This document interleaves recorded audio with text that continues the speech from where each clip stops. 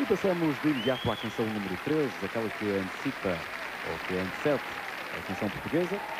Enquanto vemos imagens de Londres, imagens do passado e do presente da capital da Inglaterra, é tempo de falarmos do Papa Festivais. É verdade, chegou a vez da Irlanda, a Irlanda que já ganhou seis festivais da Eurovisão, o último foi em 1996, na Noruega, e a Irlanda continua a apostar uh, forte e a apostar no seguro numa canção muito eurovisiva. E desta vez apostou numa música uh, em detrimento de uma outra canção que estava quase como certa como vencedora. Passo a explicar. Ronan Keating, dos Boyzone, era autor de uma canção na final irlandesa pelas Carter Twins, uma banda formada propositadamente para o festival. Os jornais e a crítica na altura só falavam nessa canção, mas na noite decisiva, surprise, surprise, não foi Ronan Keating, mas sim Dawn, de 20, 21 anos, a intérprete que foi escolhida para interpretar Is Always Over Now, a canção da Irlanda. Noel Killingham é o maestro de serviço nesta canção.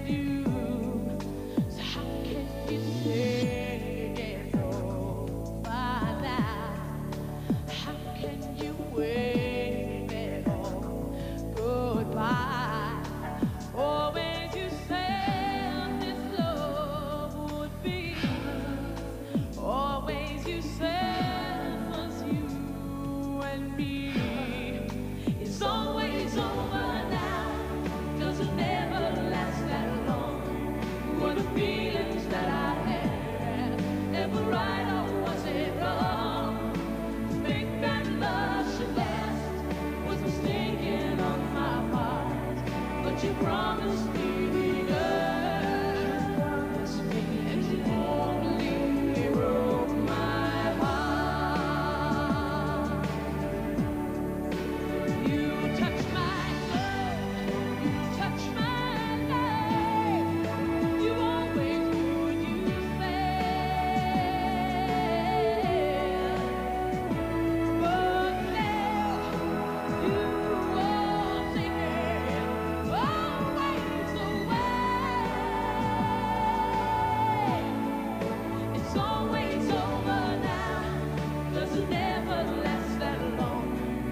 the beat.